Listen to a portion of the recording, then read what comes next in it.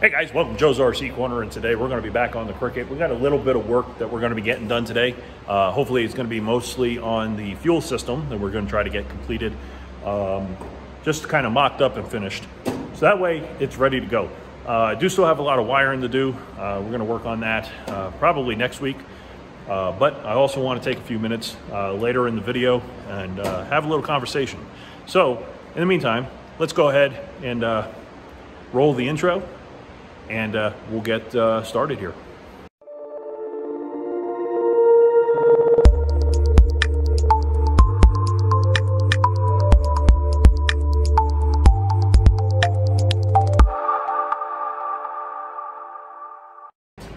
Okay guys, so like I said, we're gonna be back on the Cricket. We're gonna finish up the fuel system. So I wanna go ahead and uh, finish up the uh, passenger side uh, with the vent line and everything, and get it drilled through and get that through the back wall here inside and uh, get it down into the hell hole so that we can get that fuel line completed, get the fuel filters mounted, and uh, go from there. So we're gonna spend a lot of time down inside the airplane in the back. So uh, the other thing I wanna talk about, guys, is we have, we got my, called up Melissa, and like I mentioned to you guys, um, went ahead and we are going to go with the four-point harness. So we have these here in in the uh, in the shop here, and uh, very nicely packed. Um, and they give you all that nice, beautiful hardware. So let's go ahead and turn the camera around and let you guys see. Okay, guys, so like I said, uh, packed up really nice. Some of these bolts don't go to this, so I'll get those out. I just needed to get them out here. So they give you some really nice, sturdy hardware that's going to be going into the back of the plane here. So, um, as you know, up here, uh, we have the panel here now. So this has got to go in between. So I got to trim this piece back a little bit so we can get that mounted. Actually, not too much. That actually fits almost perfect, guys. So what we'll do is we'll go ahead and uh, we'll get this all lined up. We'll get it, get it in place.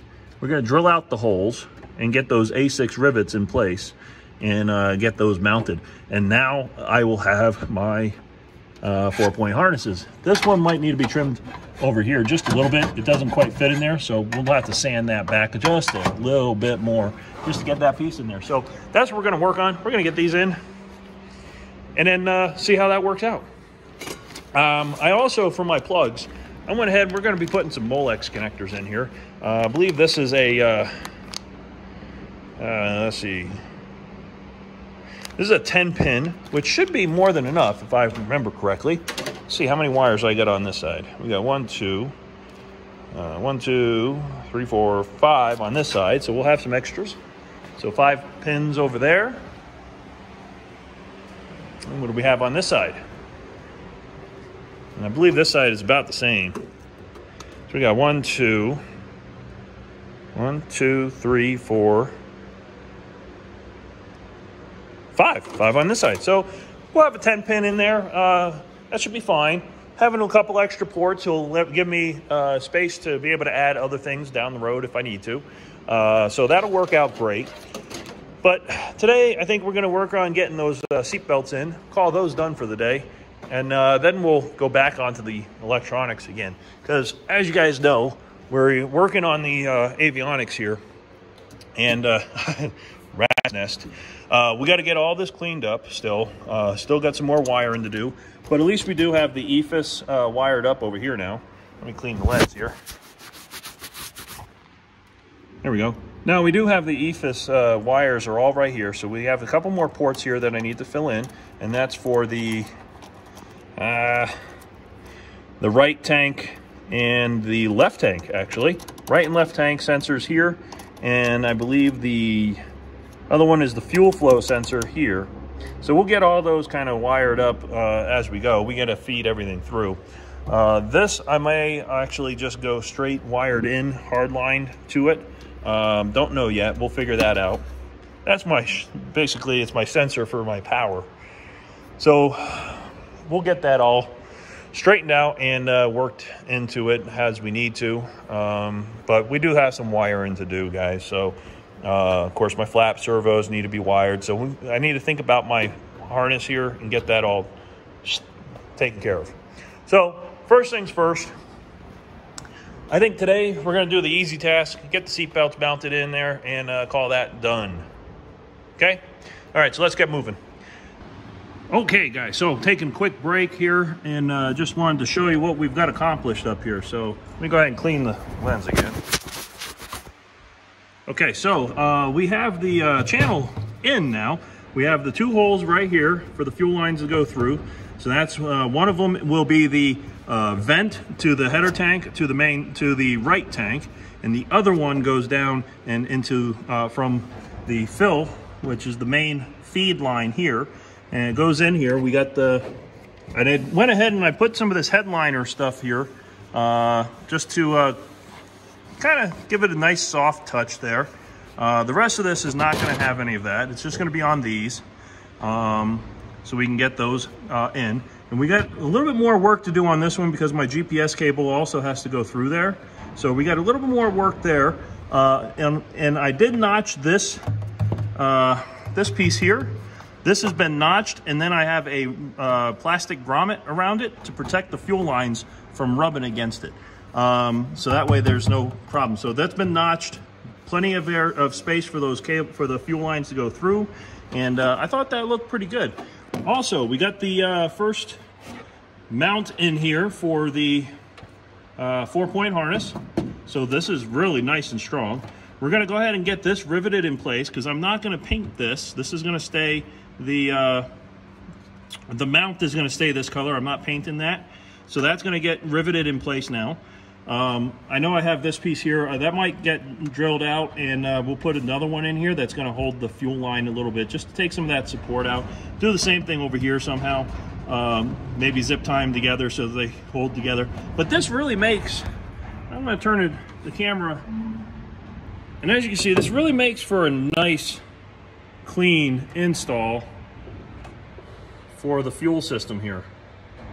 Now, I only used A4s to hold this in place, and the reason for that, guys, is it's not a supporting beam. It's just housing the fuel lines.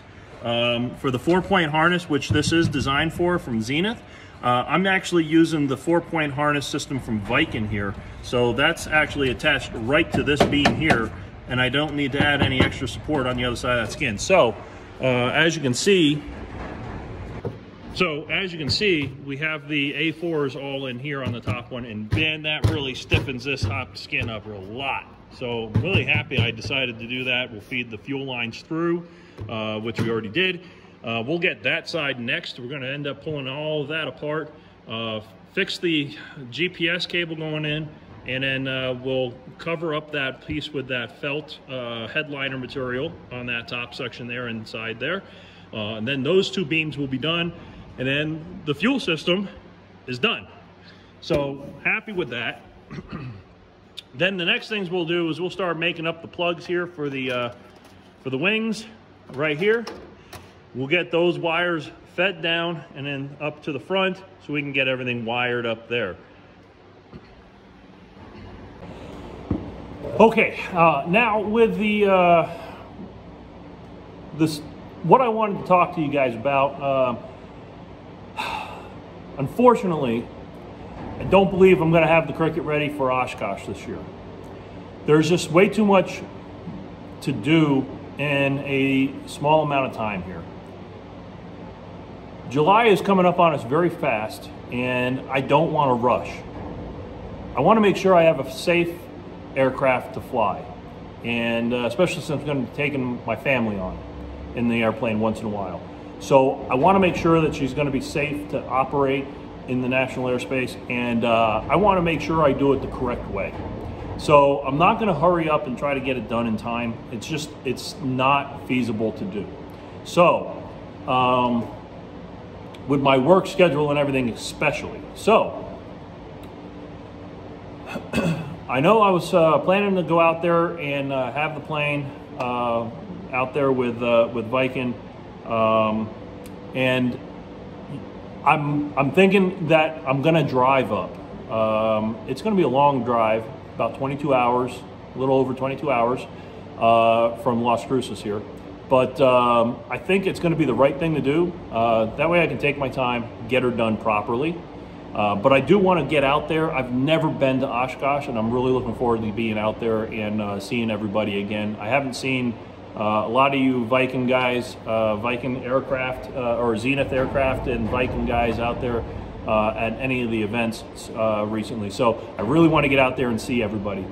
So plan is right now is to keep working, keep plugging away at her, try to get her as close as possible, and we'll go from there. So that's the plan, guys. I know a lot of you wanted, wanted to see the, the cricket out there at Oshkosh, but here's the deal. At the end of the day, I need to make sure my airplane is going to be safe for me. So that's what's going on. So with that,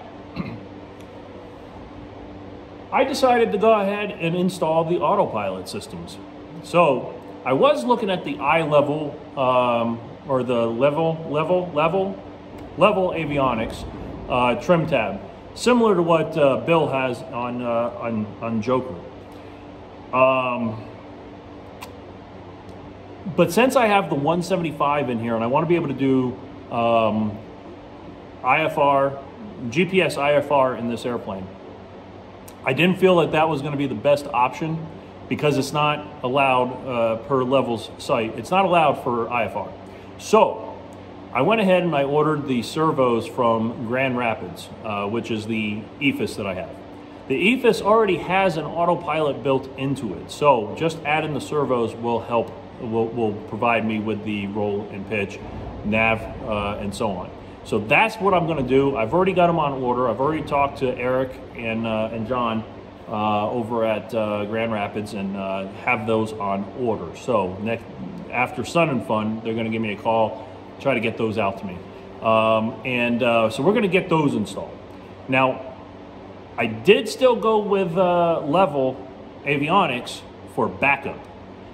Because I want to be able to fly this in IFR, uh, with uh, limited IFR, of course, uh, because it's only a GPS equipped, not VOR equipped. Um, I still wanted to have a backup means of navigation. Uh, so I ordered the bomb. Um, hopefully that comes soon. I've also signed up with Levil for their affiliate program, and I'm going to leave a link down in the description. Uh, if you guys are interested, check out the link, and uh, either, you know, a great backup system could be the bomb. Uh, I haven't personally used it yet, but I'm interested, and we're going to install it on the Cricket as a backup system. So uh, that's the plan, guys. We're gonna get going with that. So as soon as that arrives, we'll take a look at it, do an unboxing, and uh, see where we're gonna mount it, uh, and go from there. So that's the plan. Uh, so unfortunately, the Cricket won't be out at Oshkosh, but I plan to be out there and uh, enjoying the festivities and uh, enjoying the show and hanging out with um, with Jan and Alyssa and Sebastian and Roger, everybody in the Viking and Zenith community. Uh, and uh, of course, I'll have some fun stuff out there. Uh, I'm, I'm, planning on bringing out, I have a bunch of uh, Cricket logos, uh, patches. If you guys are interested, they're going to be on first come, first serve. Uh, I only have roughly about 200 of them, so make sure you come by and and seek me out, and I'll have some for you guys. So. Uh, other than that, guys, that's all I have. I hope you guys enjoyed the video. It might be a bit short this week, but uh, next week we'll get back on her. I'll have two days next week to work on her. This week, unfortunately, only had one. Uh, but we'll get that wiring done. We've got to finish up the wiring on the inside uh, under the, the, the, panel so that way I can get that closed up. Because uh, I'm really getting, I'm really want to start finishing that front nose section off getting that completed, getting the windscreen in there permanently, finishing up the wings, get those off, get them prepped for paint. The tail, of course, needs to get ready for paint. Um, we're, we're getting there, guys, but it's not going to get done in time, and I really wish that it was, but it's not. So I'll catch you guys on the next video because I need to get back to work. See ya.